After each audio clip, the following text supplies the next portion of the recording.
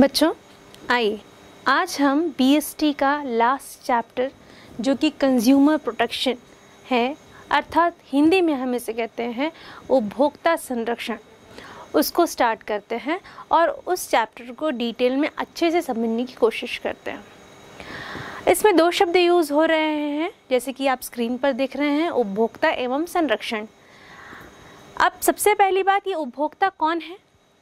ये उपभोक्ता आप हम, वे सभी लोग हैं जो गुड्स एंड सर्विसेज़ यानी वस्तु एवं सेवाओं का उपयोग करते हैं या उपभोग करते हैं। जैसे कि इससे पहले के चैप्टर में आपने देखा और जाना कि जो उपभोक्ता है, वो बाज़ार का राजा होता है और विपणन की समस्त क्रिया इन उपभोक्ता के इर्द गिर्द घूमती रहती है। अगर बाज़ार का मूलभूत आधार माना जाए तो उपभोक्ता है, क्योंकि अगर उपभोक्ता नहीं होगा तो बाज़ार नहीं होगा। जैसे कि आप जानते हैं कि बाज़ार में अगर उपभोक्ता को कोई व्यवसायी संगठन संतुष्ट रखता है तो वह और आगे बढ़ता जाता है और मार्केट में उसके प्रोडक्ट्स की, यानी उनकी वस्तुओं की जो डिमांड है, वो बढ़ती चली जाती है। तो इस तारतम्य में अगर हम बात करें तो जैसे कि हम देख रहे हैं उपभोक्ता संरक्षण, यानी कस्टमर प्रोटेक्शन वे सभी व्यावसायिक संस्थाएँ जो कि अपने उपभोक्ता को संतुष्ट रखती हैं, वो अपने उपभोक्ताओं के साथ अच्छे संबंध, सदृढ़ संबंध बनाने में कामयाब होती हैं और उनके मध्य जो क्रय विक्रय की क्रिया होती है, वो लंबे समय तक चलती रहती है। लेकिन हम यह भी देख रहे हैं आज के वातावरण में कि कुछ ऐसी इंडस्ट्रीज़ या व्यावसायिक संस्थाएँ हैं जो ज़्यादा लाभ कमाने की चाहत में क्या करते हैं? अपने एक बाज़ार के राजा के साथ, अर्थात उपभोक्ता के साथ क्या करते हैं? धोखाधड़ी करते हैं। किस तरह की धोखाधड़ी? या तो नापतौल में धोखाधड़ी करेंगे, या तो फिर जो वस्तु विक्रय कर रहे हैं, उसकी क्वालिटी में धोखाधड़ी करेंगे। तो ऐसी जो छोटी छोटी अलग अलग प्रकार की धोखाधड़ी करते हैं, उसकी वजह से क्या होता है? उनका जो उपभोक्ता के साथ रिलेशन है, वो ख़राब हो जाता है। लेकिन इसमें स्थिति उत्पन्न क्या होती है कि इसमें उपभोक्ता का शोषण होता है। उपभोक्ता के इसी शोषण को बचाने के लिए उपभोक्ता संरक्षण नियम लागू किया गया था। इस नियम के बारे में हम, ये इस कानून के बारे में हम आगे पढ़ेंगे। हम अभी इस चैप्टर में, शुरुआत में उपभोक्ता संरक्षण के कॉन्सेप्ट को समझ रहे हैं। आइए अब इंट्रोडक्शन पार्ट जैसे हमने समझा या प्रस्तावना जैसे हमने समझा, आइए अब हम इसके अर्थ को जानते हैं कि उपभोक्ता संरक्षण होता क्या है। कई व्यावसायिक इकाइयाँ ऐसी हैं जो ज़्यादा लाभ कमाने की इच्छा में क्या करते हैं? काला बाजारी जमाखोरी या अपने उपभोक्ताओं का शोषण करती हैं। इन उपभोक्ताओं को इन शोषण से बचाना ही क्या होता है? उपभोक्ता संरक्षण के अंतर्गत आता है। अब तो ये बात हो गई, उपभोक्ता संरक्षण का अर्थ क्या है? जैसे कि आपने जाना। अब हम देखते हैं कि भारत में उपभोक्ता शोषण के क्या क्या उदाहरण हैं। या फिर हम इसे इंग्लिश में कह सकते हैं some examples of customer exploitation in India अब, जैसे कि आप रोज़मर्रा के जीवन में देखते हैं कि आप जो पैक्ड फ़ूड खरीदते हैं, उसका जो वेट दिया होता है, जैसे कि मान लीजिए आपको इंस्टेंट नूडल्स खरीदना है, आपने खरीदा गवर्नमेंट के रूल्स के अनुसार उस पैक्ड फ़ूड की जो क्वांटिटी होनी चाहिए, एक लिमिटेड क्वांटिटी उन्होंने डिसाइड की हुई है।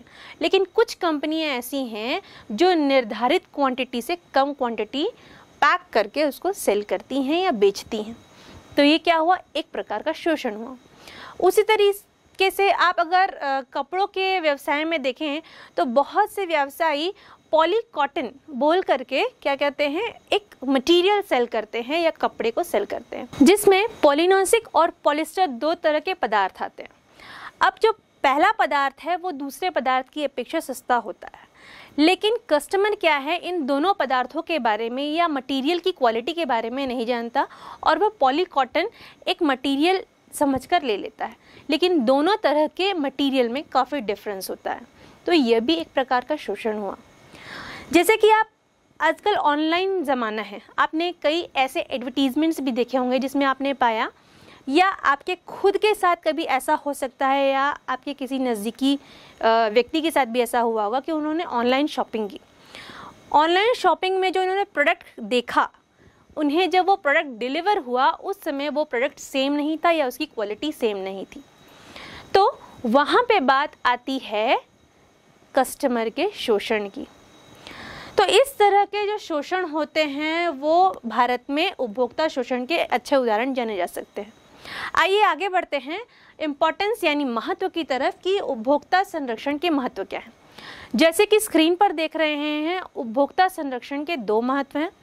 पहला महत्व आता है उपभोक्ता के दृष्टिकोण से from the point of view of consumer और दूसरा आता है व्यवसाय के दृष्टिकोण से from the point of view of business हम पहले ए से स्टार्ट करेंगे, यानी उपभोक्ता के दृष्टिकोण से from the point of view of consumer इसमें पहला पॉइंट अगर हम पहला इम्पोर्टेंस या पहला महत्व देखें तो ये कहता है कि उपभोक्ता अनदेखी, यानी कंज्यूमर इग्नोरेंस जैसे कि आप जानते हैं, आज लोग काफ़ी शिक्षित हो चुके हैं, जानकार हो चुके हैं, लेकिन फिर भी क्या होता है, उन्हें बहुत सी ऐसी चीज़ों की जानकारी नहीं है जिससे कि वह अपना शोषण होने से बच सके। तो इन सभी चीज़ों के बारे में जानकारी रखना उनका एक बहुत बड़ा अधिकार है और अपने जो उनके आवश्यक अधिकार हैं, उनको उन्हें अनदेखी नहीं करनी चाहिए। वो क्या मान लेते हैं इन जानकारियों के अभाव में कि जिन चीज़ों से या जिस शोषण से वो गुज़र रहे हैं, मार्केट के शोषण से वो गुज़र रहे हैं, वो उन चीज़ों के आदि हो जाते हैं या उसे मार्केट का एक पार्ट समझ लेते हैं, जो कि है नहीं। उन्हें इन चीज़ों के विरुद्ध कंप्लेन करने चाहिए और अपने आप को शोषण से बचाना चाहिए। अगले पॉइंट की तरफ़ चलते हैं कि दूसरा है असंगठित उपभोक्ता अनऑर्गेनाइज कंज्यूमर जैसे कि आप जानते हैं, अकेला व्यक्ति कभी भी किसी भी कार्य को पूरा नहीं कर सकता, उसे संगठित होना ज़रूरी है। इसी तरह अगर कोई एक उपभोक्ता किसी कंपनी या फर्म के प्रोडक्ट से जो है शोषण का अनुभव कर रहा है तो उस स्थिति में उसे क्या करना चाहिए कि उसी प्रोडक्ट या उसी तरह के प्रोडक्ट्स से शिकार लोग जो कि शोषित हो चुके हैं, उनको ऑर्गेनाइज करना चाहिए या संगठित करना चाहिए और उन सभी को मिलकर क्या करना चाहिए, उसके अगेंस्ट क्या करना चाहिए? कोई कदम उठाना चाहिए या अपने जो उन्होंने झेला है या उन समस्याओं का सामना किया है, उन समस्याओं के निवारण या हल के लिए शासन से विनंती करनी चाहिए या उनसे मांगना चाहिए कि हमें इन समस्या से बाहर निकालिए। तीसरा जो बिंदु है या महत्व है, वह कहता है कि उपभोक्ताओं को बड़े पैमाने पर शोषण wide spread exploitation of consumer अब बच्चों, देखिए, जो कंज्यूमर हैं, उसको बहुत बड़े पैमाने पर भी शोषण हो सकता है। जैसे बड़ी बड़ी डीलिंग्स करते हैं, उसमें भी शोषण हो सकता है। इन सभी शोषण से बचने के लिए उपभोक्ता को अपने अधिकारों की जानकारी रखना बहुत ज़रूरी है। आज का उपभोक्ता पढ़ा लिखा है विद्वान है, बुद्धिमान है, शिक्षित है, इस सब राइट्स इन सब रिसोर्सेज उनके साथ है। तो उन्हें अपने अधिकारों की जानकारी होना ज़रूरी है ताकि वो इस तरीके के शोषण से बच सके। और अपना प्रोटेक्शन यानी अपने संरक्षण को, यानी कस्टमर के संरक्षण को किस तरीके से प्राप्त किया जा सके या उनका उपयोग किस तरीके से किया जा सके, उन्हें अच्छी तरीके से आना चाहिए। तो इस तरीके से हमने उपभोक्ता संरक्षण के पहले पार्ट जो कि उपभोक्ता के दृष्टिकोण से हैं, उसको समझा। आइए हम इसके दूसरे पार्ट की ओर चलते हैं, जो कि यह कहता है कि व्यवसाय के दृष्टिकोण से from the point of view of business देखिए बच्चों, पहला पार्ट जो आता है, वो कहता है व्यवसाय द्वारा समाज के संसाधनों का प्रयोग करना। बिज़नेस यूजेस सोसाइटी रिसोर्सेज जैसे कि आप पहले भी जानते हैं कि कोई भी व्यवसाय जो है वो क्या करता है? सोसाइटी से रिसोर्सेस यानी संसाधन लेता है। वे संसाधन कौन कौन है? जैसे कि मैंने पहले आपको बताया है, माल मशीन मनी मतलब पैसे मेथड यानी विधि, और इसके अलावा बहुत सी ऐसी चीज़ें हैं जो क्या करता है? वो सोसाइटी से लेता है। अब जब वो बिज़नेस या वो व्यवसाय इन सभी चीज़ों को सोसाइटी से ले रहा है तो उसकी खुद की एक रिस्पॉन्सिबिलिटी या ज़िम्मेदारी होती है कि वो इनको बदले में कुछ अच्छा दे उनका शोषण ना करे। तो यहाँ पे उससे क्या होगा अगर वो आ, समाज के लिए कुछ काम करेगा क्योंकि जो बिज़नेस रिसोर्सेस या संसाधन ले रहा है उसकी यह खुद की ज़िम्मेदारी है कि वह सोसाइटी को हेल्प करे या उसको आगे बढ़ने में मदद करे न कि उसका शोषण करे। आगे हम अगले महत्व की ओर चलते हैं जो कि कहता है सामाजिक उत्तरदायित्व यानी सोशल रिस्पॉन्सिबिलिटी सोशल रिस्पॉन्सिबिलिटी, जैसे कि मैंने आपको बताया कि हर व्यवसाय की एक सोशल रिस्पॉन्सिबिलिटी होती है। अब किसके तरफ़ होती है? ठीक है देखिए, एक व्यवसाय से कई लोग जुड़े होते हैं, है ना? इन्वेस्टर होते हैं शेयर होल्डर्स होते हैं, वहाँ जो काम करने वाले एम्प्लॉयज़ होते हैं और साथ ही साथ कस्टमर होते हैं। ये सारे लोगों के जो है, उनको उनको संरक्षण देना, उनका शोषण होने से रोकना, ये उनकी ज़िम्मेदारी है। लेकिन कस्टमर चूँकि क्या होता है, एक बाज़ार का राजा होता है तो प्रायोरिटी क्या बनती है कि इस कस्टमर को सेटिस्फाइड रखना। ठीक है? तो जब कस्टमर सेटिस्फाइड रहेगा तो अपने आप क्या हो जाएगा? ये सारे लोग भी सेटिस्फाइड रहेंगे, और जब पूरा सोसाइटी सेटिस्फाइड रहेगा तो सेटिस्फाइड यानी होता है संतुष्ट। जब पूरी सोसाइटी यानी समाज संतुष्ट रहेगा तो उस स्थिति में क्या होगा कि एक व्यावसायिक इकाई अपनी जो सोशल रिस्पॉन्सिबिलिटी है, जो सामाजिक उत्तरदायित्व है, उसको पूरा करेगी कि वह अपने लोगों को या जिन लोगों से उन्होंने संसाधन लिए हैं, उनका शोषण नहीं होने दे रही, उनको उनकी उपयोगिता की चीज़ें उपलब्ध करा रही हैं।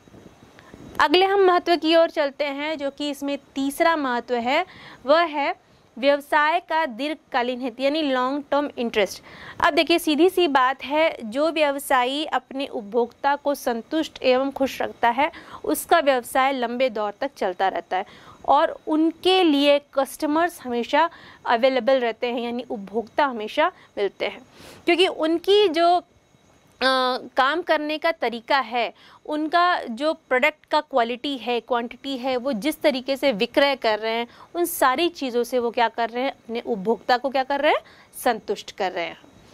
अगले हम महत्व की ओर चलते हैं वो कहते हैं सरकारी हस्तक्षेप यानी गवर्नमेंट इंटरवेंशन अगर आ, कोई भी व्यावसायिक इकाई या कोई भी व्यवसायी अपने कस्टमर्स का शोषण करेगा या इस तरह के कुछ कार्य करेगा तो वहाँ पे गवर्नमेंट का हस्तक्षेप होना वाजिब है, क्योंकि गवर्नमेंट को गवर्नमेंट की मोस्ट प्रायोरिटी क्या है या किसी भी व्यवसाय की मोस्ट प्रायोरिटी क्या है कि उपभोक्ता को संतुष्ट रखना। अब जब उपभोक्ता ही असंतुष्ट है तो वहाँ पे क्या आएगा कि शासकीय या सरकारी हस्तक्षेप अपने आप आएँगे।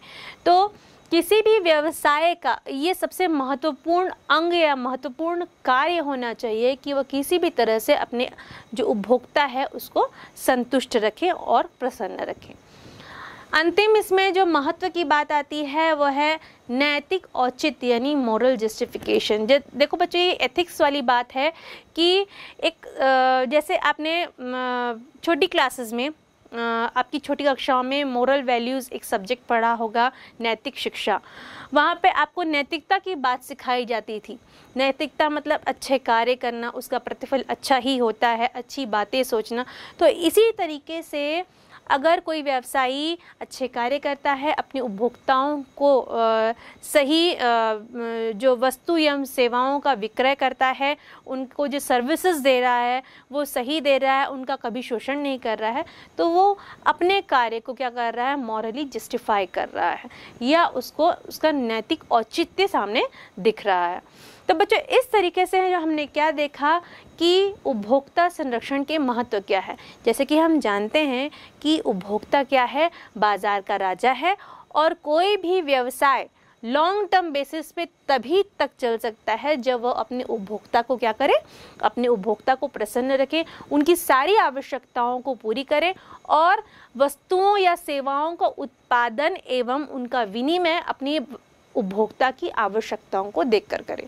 तो इस तरीके से हमने क्या समझा कि उपभोक्ता संरक्षण का महत्व क्या है।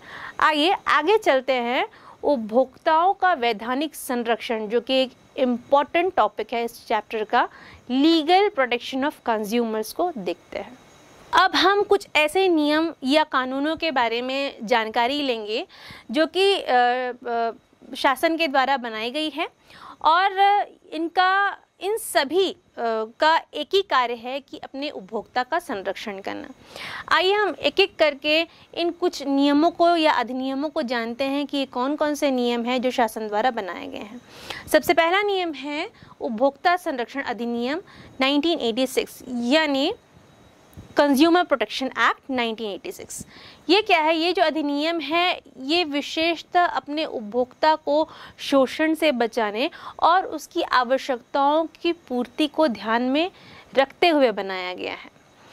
इस अधिनियम के अनुसार, इस अधिनियम में जो है दोषयुक्त वस्तुओं, अपूर्ण सेवाओं और अनिश्चित व्यापार व्यवहारों तथा उपभोक्ता शोषण के विरुद्ध सुरक्षा प्रदान करना ही इसका मुख्य उद्देश्य रहा है।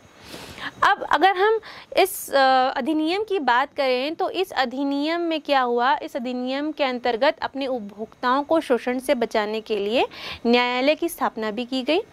यहाँ पे अगर हम देखें तो तीन स्तरीय यंत्र की स्थापना की गई, जिसे इंग्लिश में थ्री टीयर मशीनरी कहा जाता है। पहला जो था वो जिला स्तरीय था, जिसे जिला फोरम या इंग्लिश में डिस्ट्रिक्ट फोरम कहते हैं।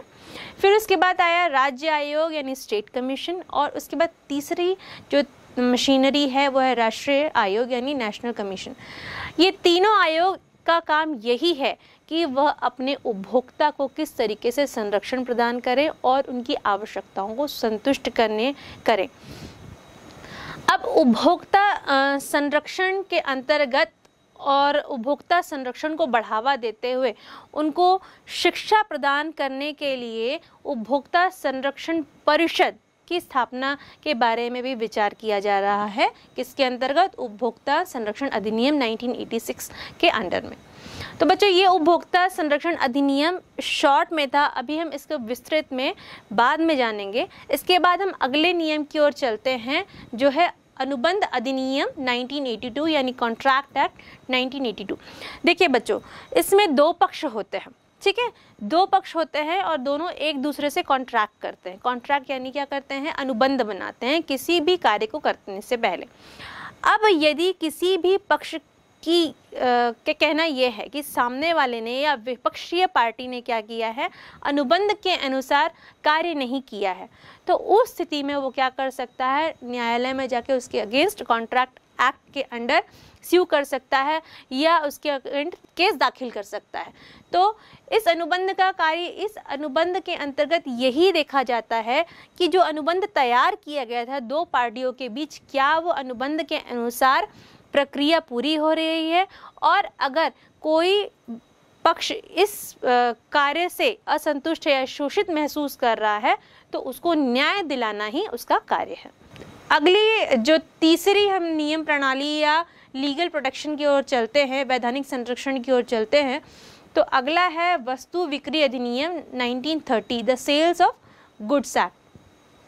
इसमें जो होता है, खरीदी हुई वस्तुओं की गारंटी और वारंटी के अनुसार अगर वस्तुओं को जो सर्विस है वो नहीं दी जाती तो यहाँ पर ये एक्ट काम आता है और इस एक्ट का उपयोग करते हुए कोई भी उपभोक्ता जो है अपने अपने आप को शोषण से बचा सकता है। इसके बाद हम चौथे अधिनियम की ओर चलते हैं, या वैधानिक संरक्षण अधिनियम की ओर चलते हैं, जो कि है आवश्यक वस्तु अधिनियम 1955 जिसे इंग्लिश में कहते हैं द असेंशियल कमोडिटीज़ एक्ट 1950 आइए इनके कुछ उद्देश्यों को देखते हैं कि इसके मुख्य उद्देश्य क्या हैं। इसका जो उद्देश्य है वस्तुओं के उत्पादन, पूर्ति एवं वितरण पर नियंत्रण रखना। फिर मूल्यों की वृद्धि पर नियंत्रण रखना तथा आवश्यक वस्तुओं का उचित मूल्य पर वितरण सुनिश्चित करना, तथा लाभखोरी, जमाखोरी तथा कालाबाजारी पर नियंत्रण करना।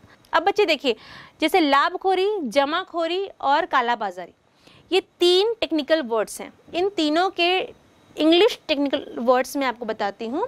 लाभखोरी यानी प्रॉफिटियरिंग जमाखोरी यानी होर्डिंग और काला बाज़ार यानी ब्लैक मार्केटिंग। अब अगर ये तीनों वर्ड्स आपने शायद सुने होंगे और नहीं भी सुने होंगे तो इन फ्यूचर आपको ये तीनों वर्ड्स काम आएँगे। तो बेस्ट पोर्शन होगा कि आप हिंदी के साथ साथ अपने इंग्लिश टर्मिनोलॉजी या वोकेबलरी को भी स्ट्रॉन्ग करें आगे हम चलते हैं अगले अधिनियम की ओर, देखते हैं कि अगला अधिनियम क्या है। अब जो अपना नेक्स्ट या अगला जो अधिनियम है वो है कृषि उत्पाद अधिनियम 1937 एग्रीकल्चर प्रोड्यूस एक्ट 1937 देखिए बच्चों, इसमें ये होता है कि कृषि उत्पादन से संबंधित तथा इसके अलावा जो जानवरों के लिए भोजन तैयार होता है, उनका एक मानक तैयार किया जाता है स्टैंडर्डाइजेशन किया जाता है। और उसी मानक के अनुसार ये इसमें जो उत्पाद हैं, इन उत्पादों को उनके जो स्टैंडर्ड्स हैं, जो तय किए गए हैं, उसके अनुसार तैयार किया जाता है, उनकी पैकिंग की जाती है। और जब यह उत्पाद तैयार हो जाते हैं तो इस उत्पाद की पैकिंग के ऊपर एक एगमार्क नामक चिन्ह लगाया जाता है, जैसे कि आप स्क्रीन पर देख रहे हैं। यह जो चिन्ह होता है, वह इस उत्पाद की जो है यह उत्पाद कितना एक्यूरेट है, इसकी पुष्टि करता है, तभी इस एगमार्क चिन्ह को लगाया जाता है। इसके बाद हम चलते हैं खाद्य मिलावट निवारण अधिनियम, उन्नीस सौ चौवन the prevention of food adulteration act 1954 इसमें क्या होता है, उन सभी खाद्य पदार्थों के विरुद्ध या उनसे, उनके विरुद्ध जो होता है स्यू कर सकते हैं या उनके विरुद्ध अपने उपभोक्ता को बचाया जाता है कि जब कोई खाद्य पदार्थ को मिलावट करके बनाया जाता है और उनसे वाले, होने वाले हानियों से जब उपभोक्ता शोषित महसूस करते हैं या शोषित होते हैं तो उस, उन जो प्रॉब्लम्स हैं उनसे बचाने के लिए इस नियम का उपयोग किया जाता है।